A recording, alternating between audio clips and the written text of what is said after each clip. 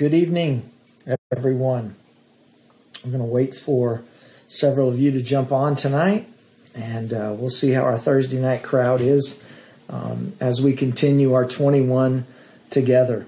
So let's uh, just wait for just a second and uh, see who jumps on with us and who's watching, and who's going to be interacting with us tonight as we pray together and as we uh, kind of talk about our day a little bit and. Um, also as we uh, just share some things that God is doing. And uh, so we thank you guys for, for tuning in and for joining us. And uh, uh, it's been an awesome, awesome time. And God has been moving in a powerful, powerful way. And uh, already we've seen some pretty crazy things happen. And uh, we're so thankful for what God is doing and so thankful for for the opportunity we have to not only um, not only turn ourselves to the Lord, but also to become more like Him. And it really seems like this this time already that we've been spending together. Uh, you know, we've been four days into this, and uh, watching on the big screen. Wow! If you guys are watching on the big screen, I have a giant head, but I, my head must be massive. If you guys are watching on the big screen, sorry about that. I apologize ahead of time.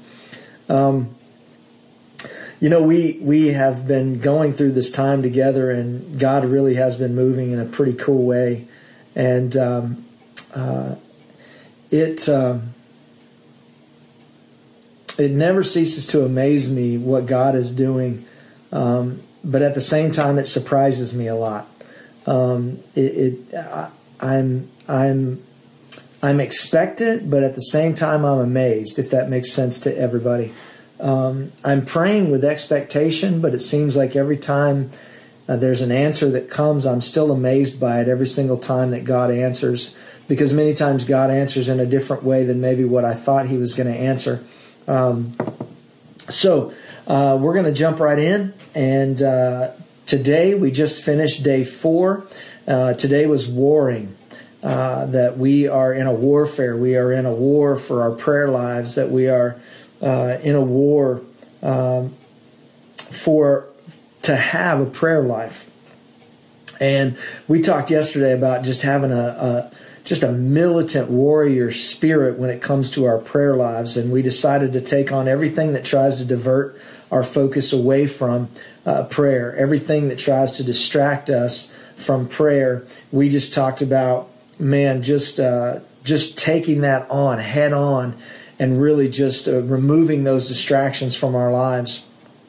And so tonight we're going to deal with something a little bit different, and uh, you may see the wording in your um, in your guide, and you may be thinking, "Well, is he really going to talk about location tonight?"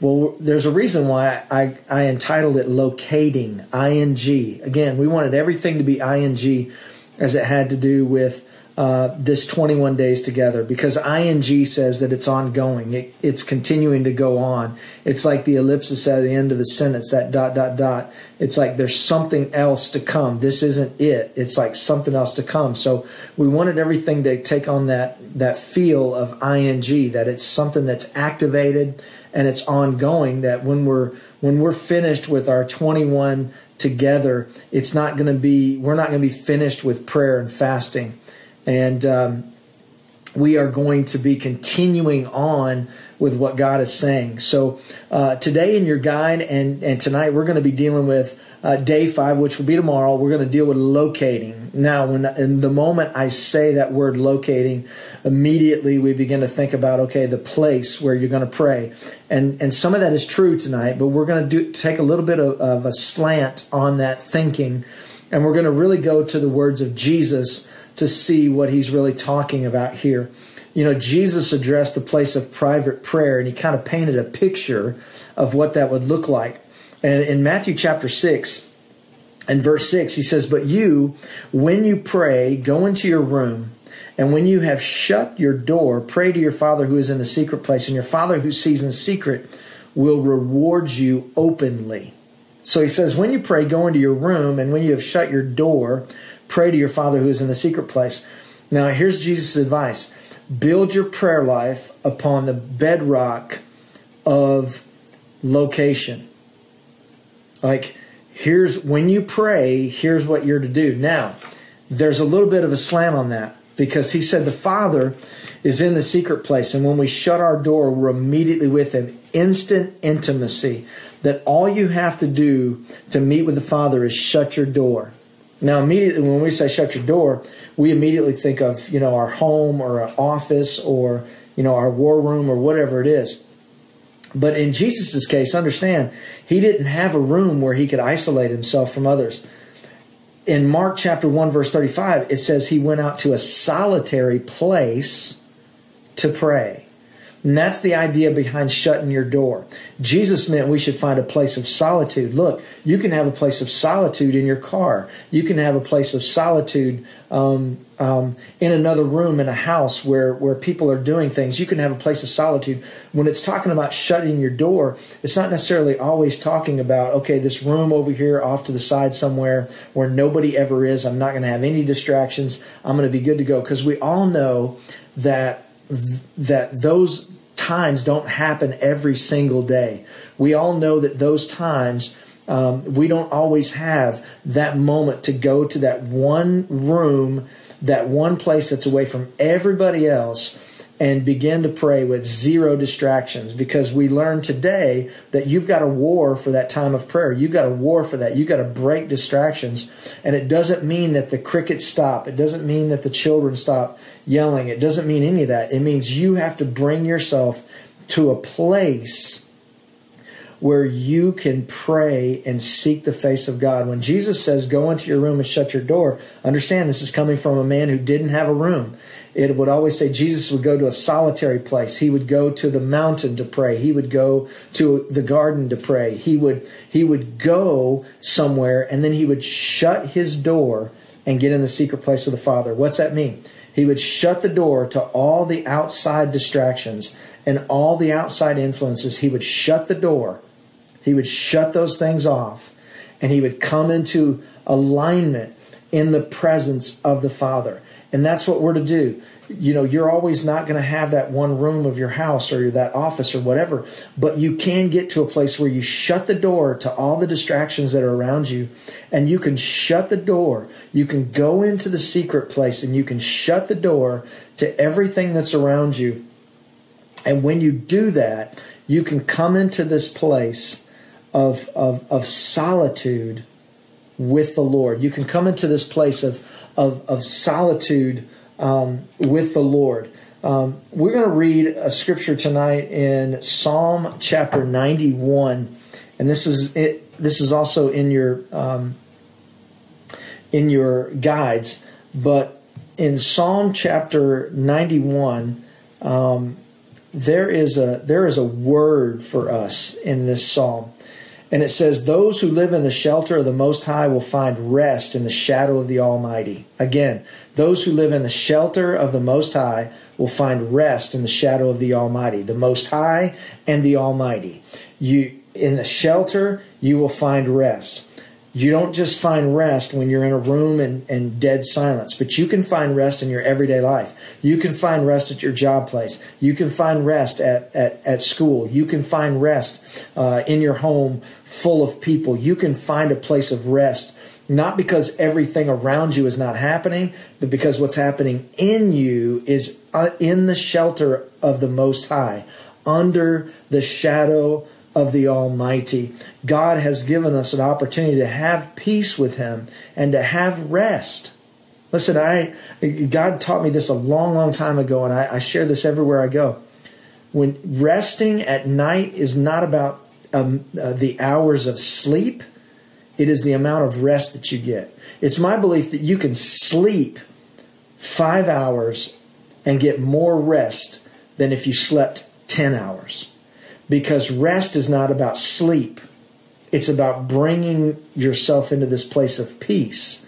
So you can sleep in total peace without the REM, the rapid eye movement, without your mind going a thousand miles an hour, without your tossing and your turning, without all of that stuff. That you can, when you go to sleep, you can rest. And in that rest, you can have a peace that it doesn't take 10 hours of sleep for you to get peace and rest because you are at peace you get rest for five hours and it seems like you've slept so much more. You're reinvigorated. Why?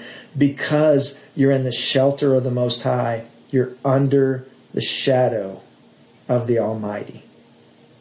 It's always been my contention that people who try to knock themselves out to sleep, a lot of times we can wake up in the morning and we feel as if we're more tired, even though we slept a lot of hours. And the reason for that is we try to knock out like our bodies to, to go to sleep, and our bodies are knocked out, and really our soul is kind of knocked out, but our spirit is trying to talk to us. And God's trying to speak to us in dreams and visions, and He's trying to speak to us at night. So what's happening is our spirit is is warring against our body and against our our our soul. And so there's this like this war going on all night where God's trying to speak to us, yet our body and our soul are completely disconnected. And there's this war going on all night long. And we wake up the next morning, we're like, man, I slept 10 hours. Why am I so tired? It's because there was this war going on. But when you're at total peace, then there is a rest that comes upon your life. And Jesus says, look, if you if you want to find that, you've got to go into this place and you've got to shut your door. You got to shut the door to everything that's outside of you. You got to shut the door to all the distractions. You got to shut the door and you've got to get into the secret place with the Father. And the secret place is not always a room of isolation. It is putting yourself in the shelter of the Most High under the shadow of the Almighty. So let's pray right now. We're going to ask God to show us where our secret place is, how to get to that place. We're going to ask Him. Uh, we're going to ask Him to do that for us. So, Lord Jesus, we just come to you right now, and we are asking you, Lord, uh, to help us, Lord, to find that secret place. Lord, to help us to shut the door to the distractions and to shut the door to the things around us. Lord, show us uh, those times that, that whether it's in our home or our car, or whether it's even just taking a walk outside, where we can be in the shelter of the Most High, under the shadow of the Almighty. And God, we can be at perfect peace and we can be at perfect rest.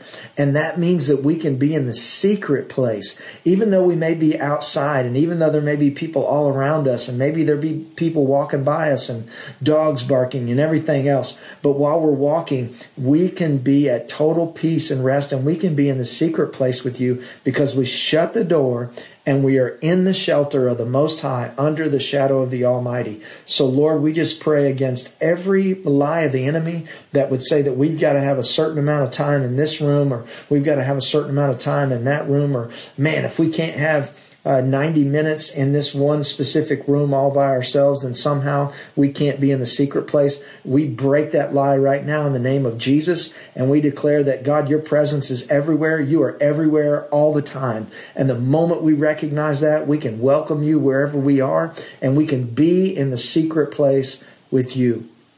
Lord, our desire is to have a place. Yes, Lord, we want to have a place. Lord, I'm thankful that you've given me a place in my home that I can go.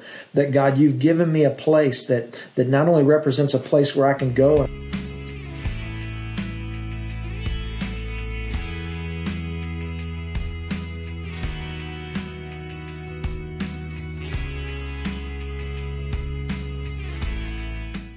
Hey guys, sorry about that. Something happened, and uh, you know this is we just came out of a day of warring, so um, hopefully you guys will jump back on. Hopefully. Uh, everybody will get back on and join in. Come on, we got to press through this stuff. Uh, technology is technology. Again, another distraction. Isn't it amazing how we were just praying about shutting the door to distractions and then all of a sudden, boom, here's a distraction. So let's jump back on. Come on, let's get back on this thing and let's finish this thing out. Um, uh, so uh, we were talking about just kind of shutting the door to the outside things and we were praying and seeking the face of God. And then all of a sudden, I look at my screen and it says, um, speed wasn't this and all of a sudden this and it just shut me off and cut me off. And so what are we going to do? Well we're going to post the first part of this and then we're going to post the second part of it.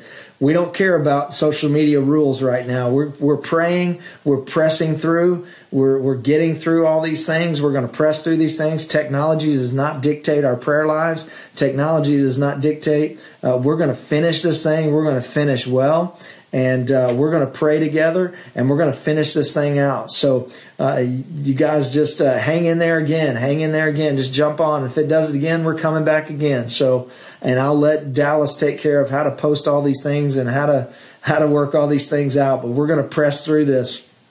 We're going to press through this. Uh, I think it's pretty interesting though that we're just coming out of this day of warring and and we were just praying about this kind of thing right here, distractions. Um, and so we're just gonna we're gonna get right back after it. Listen, we're we're gonna help. We're gonna ask the Lord to help us help us find that place of peace and rest. Jesus, help us to find that place of peace and rest, Lord. And we just declare it right now in the name of Jesus. We declare it right now that God, you are you are uh, moving and you are doing things, Lord God, that we can't even see. And we thank you, Lord, that even when when when we get kicked off of internet access and Lord, things begin to happen and all these things, we thank you, Jesus, that you're still here with us. You're still wherever we are, you're there, Jesus, and we thank you for that. Okay, 1 Thessalonians 5:17 says this, pray without ceasing. That may be one of the um, most intimidating scriptures in all the Bible. Pray without ceasing literally people have asked me about this scripture over how can i do that? Like scott how in the world can i just pray all the time? And it's one it really is one of the most challenging little scriptures uh, in all of the bible. But here's the deal. Jesus christ has made it possible for us to have an ongoing conversation that is so meaningful it never stops. Because i believe there's a difference between prayer and the spirit of prayer I believe that in prayer is our is our conversation with the Lord, and and and we have that conversation. But then there's a spirit of prayer where our spirit is praying all day long. With nothing may be coming out of our mouths, but we may be having conversations with with people around us. But in our spirit, we're praying. It's the spirit of prayer. That's how we can pray without ceasing. That's why the Holy Spirit is so important in our prayer lives. That's why the Holy Spirit is so important in our prayer life and our communion with God because we can have the spirit of prayer that is praying continually while we go about our daily lives. And what we're all aiming for is a prayer life that becomes unceasing, that is life giving, that is 24 7, that it becomes a reality.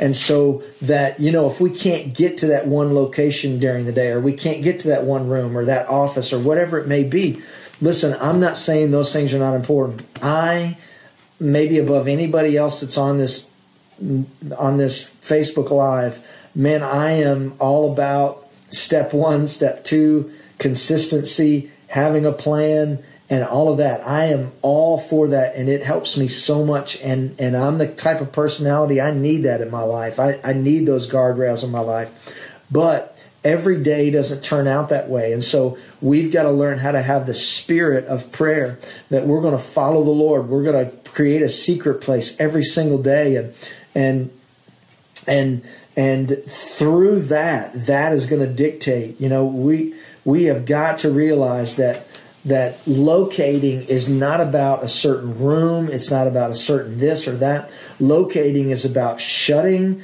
the door to all the distractions and getting in the secret place with God. In, in, the shelter of the Most High, under the shadow of the Almighty. And I'm telling you, when you learn that, it will set you free and it will create an opportunity for God to do things in your life that you have never, ever expected Him to do. Because when you get to that place, then where you are doesn't dictate who you are. A lot of times we're trying to find that like the perfect place to pray or and again, I am one that I believe you do need a place. You need a place. You need a place whether it's in your home, it's in your car, uh, it's during a certain time you drive. You need those places. But also, I'm I'm a firm believer in the spirit of prayer. You don't always get those places. You don't always uh, get to to go to that special place. You don't always get to go to that. You know, we have a certain time for our staff that that you know every single morning, the first thirty minutes of their day, you know, uh, their work day begins. Um, with prayer. That first 30 minutes is find a place. Well, guess what? Every day it doesn't always turn out that way. And and so what we have to do is we've got to be in the spirit of prayer. We have to learn how to function in the spirit of prayer. And so that's that's what we've been talking about tonight, locating. Jesus said, when you pray, go to a room, you know, get to that place, the secret, shut your door. And again, just in review, we know that Jesus was a man who didn't have a room every time. He would go to a solitary place. He would go to the mountain. He would go to the garden. He would go somewhere, but he would shut himself in with the Father. And what that meant was he would shut off all the distractions and he would, in his spirit, he would get to that secret place with the Father. And that's what we have to learn to do. So tomorrow, day five, day five. So we are we are trekking and we are moving forward. And so day five tomorrow in your being is that scripture Matthew chapter six, and your knowing uh, tomorrow is um, is uh, is finding that place tomorrow. I want you to find that place, that secret place, under the shadow of the Almighty. It may be at your workplace, it may be anywhere, but I want you literally tomorrow, when you're around a bunch of stuff going on, I want you to go ahead and just practice getting in secret place with the Lord. I want you just to do it. Man, boom. I'm shutting my door to everything. Now look, you I'm not telling you not to work. You've got to work. You got to do all those things. But what I am saying is in your spirit, find that place tomorrow, sometime during the day don't wait until it's completely silent. I want you to practice when it's not silent. I want you to practice, Lord, I love you. I thank you, Jesus. Even if you're having a conversation with somebody in your spirit, I'm shutting my door, Lord, and I'm getting in the secret place with you, and I am I am going to be the ultimate in multitasking right now, Jesus. Because in my spirit, I'm going to be prophesying. I'm going to be declaring things over people's lives while I'm having a conversation with them, while I'm working, while I'm getting my job done. I'm going to do those things not because I'm the multitasker, but through you, Lord, all that stuff can happen. You can work all that stuff together. And Lord, you can do anything through my life if I just submit myself totally to you. And then the doing tomorrow is I want you to write out Psalm chapter 91, verse 1. I want you to write that out. Ask God to show you what that secret place means to you. Uh, ask that Lord, uh, ask the Lord, you know, Lord, um, is that my drive that I need to be, you know, in that drive time? I need to stop listening. Uh, I need to stop listening to the news. I need to stop listening to sports. I need to stop doing this. And I need to take that time and during my drive to work or my drive to school or wherever it may be, man, I just need to get in that secret place, Lord. So teach me that. Lord, if there's a place in my house or if it's walking in my neighborhood or, or whatever it may be, I want you to, to ask the Lord tomorrow to show you what that is. And once He shows you what that is, I want you to write down what He says. And I want you to resolve to shut the door, to make sure you use that place and use that time to shut the door to the outside distractions. And that's what locating is about. Locating is not about a certain place, locating is about getting in a place with the Lord in the secret place. Secret place is not always quiet, secret place is not always private, but the secret place is right here. And the secret place, you know, I have found myself getting in the secret place, surrounded by just craziness, but getting in the secret place. And I found that when I do that, somebody will come up to me and ask me something, somebody will come up and talk to me, or the things around me will just and I'm like, wow, what just happened? And what happened was is that I allowed myself to get in the secret place with the Lord no one knowing externally what I was doing, but internally getting in the secret place with the Lord, and all of a sudden the atmosphere changed. Listen, when you when you learn how to get in the secret place with the Lord, the atmosphere around you will change. The atmosphere around you can change because you are getting in the secret place with the Lord. Because when you do that, you're inviting His peace, you're inviting His rest wherever you are. So if you're at the job place, you are welcoming Him to your job. If you're at school, you're welcoming Him to school. So if nobody else is welcoming Him, if no one else is welcoming Jesus to your job place, you are. And the moment you welcome Him is the moment peace comes. It's the moment rest comes. He's the peace speaker, he's the peace giver. And so the Lord is is is so ready to do that in our lives every single day. So locating is not about a place, it's about a person, and it's about you. And it's about being in his shelter, and it's about being under the shadow of the Almighty. God is good, right? He's so good.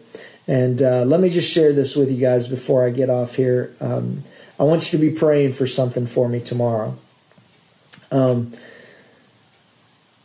there is a young man that I have I have met that I, that I felt like the Lord has brought into my path. He's from another country.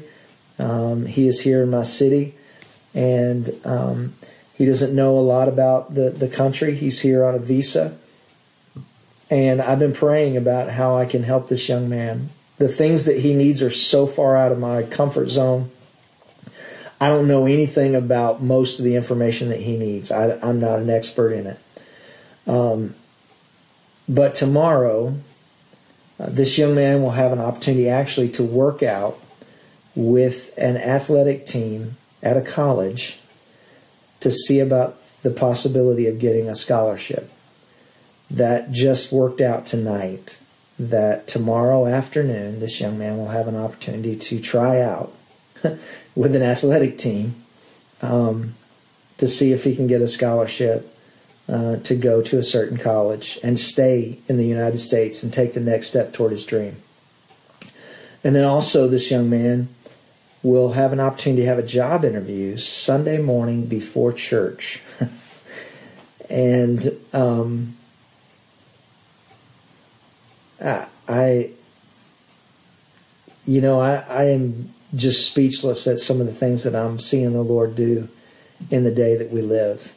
And it may be the simplest things to some people, but to me, it's miraculous what God is doing. And um, if you have a need, if you need a miracle, if you are hurting, you're wounded, you've been suffering, if you um, if you've given up on God and maybe given up on yourself, I just want to encourage you tonight that God is moving and that God is doing miracles in people's lives, not because they're perfect, not because they've made every right decision, but because they put themselves in a position and they just say, you know, Lord, I, okay, I'm going to give it all to you. I'm yours. Now, that sounds crazy because we are the Lord's, but we all have a choice.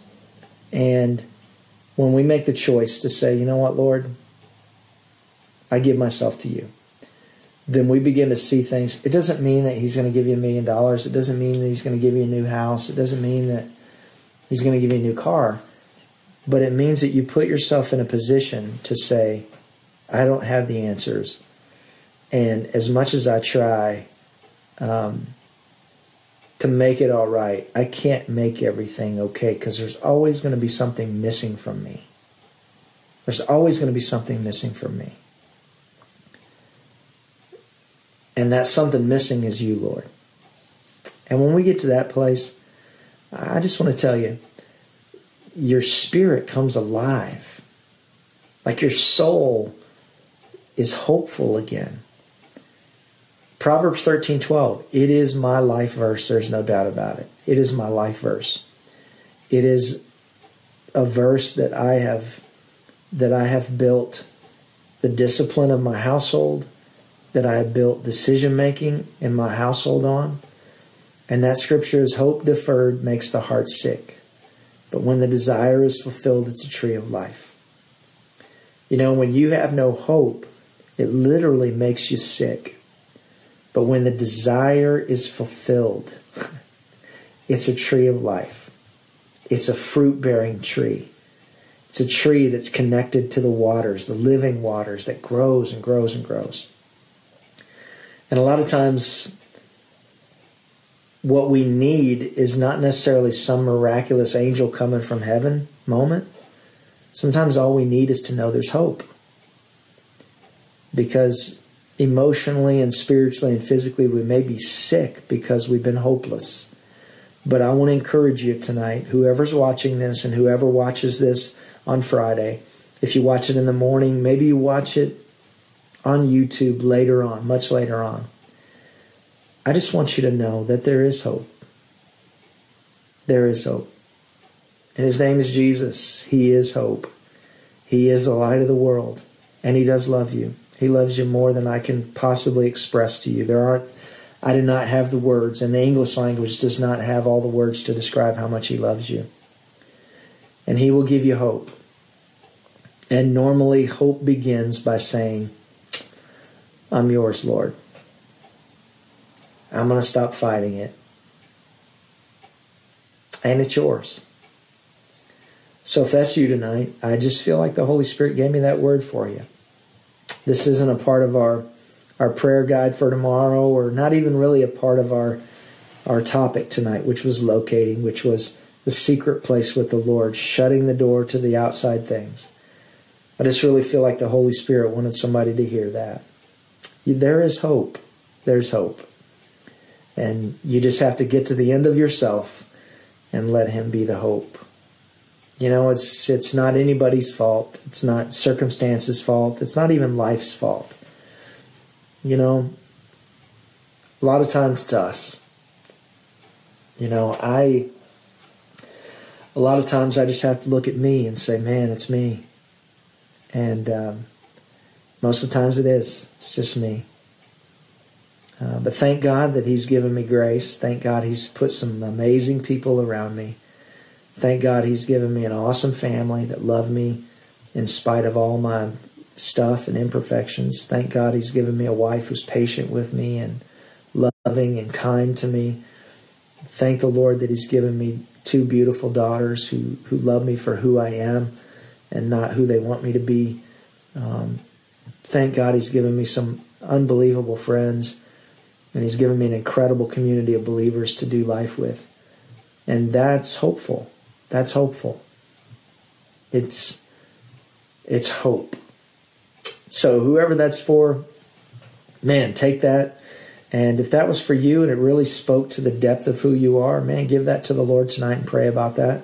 And hey, send us uh, send us an email at mediahub at thpshreveport.com and just let us know how God's speaking to you through these things. Because we want to be open to these moments of just the prophetic beginning to flow. And by the way, I'm going to announce tonight, um, this is the very first announcement of this. I'm going to announce tonight that next Thursday from 12 o'clock to 1 o'clock, the healing place will be open to come for you to pray during that 12 to 1. We're going to have worship, prophetic worship, we're going to have a time of prophetic, but we're going to live stream that. So it's going to be on Facebook Live, and we're going to just, it's not going to be, hey, prayer number one, two, three. We're going to have uh, a worship team there. They're going to be playing and pro- prophesying through worship music, and I'm probably going to be prophesying some, and we're going to just put the wide lens on there, and whoever's in that scope, you're going to see those people praying. And if you tune into Facebook Live, you're going to be able to pray with us and, and listen and, and prophesy with us. And we're going to make that a special addition to our 21 together. So next Thursday, from 12 p.m. to 1 p.m., we're going to be live streaming a time of um, uh, a time of worship music and uh, prophecy and prayer. And so you may want to tune into that, or you may want to be there live and in person if you can be there during your lunchtime. Uh, but some of these special little additions during our 21 together, I think, are going to be cool. And so, uh, anyway, that's kind of what I've got. I love you guys. And uh, thanks for tuning in. Thanks for tuning back in from our little snafu that we had. And uh, thanks for hanging in there with us. If you didn't catch the first part of it, go back and watch the first video. Dallas, our administrator, will put that together on the page and set it up to where everybody knows what's what. So, Dallas, if you'd handle that for me, I'd appreciate that, buddy. I thank you so much, Dallas, for administrating for us every single night. Thank you for sacrificing uh, your time with us, Dallas, and being here with us to to answer emails and to remind us of what we're praying for. Such a such an awesome ministry that God's given our online uh, community pastor, um, Dallas Mora. And uh, so we're so thankful for Dallas. And just let him know how much you guys love him and appreciate his time as well. So I love you guys. Uh, again, tonight, it's not about the hours of sleep. it's about the rest. So I'm not going to say sleep well. I'm going to say rest well. And may the peace of God be with you all. Have a great Friday tomorrow. Talk to you later. Bye bye.